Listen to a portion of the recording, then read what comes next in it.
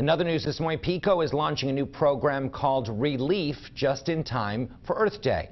The program focuses on expanding our region's urban tree canopy. More than 1,500 trees were unloaded yesterday at the Navy Yard. They'll be planted in the city and the surrounding suburbs.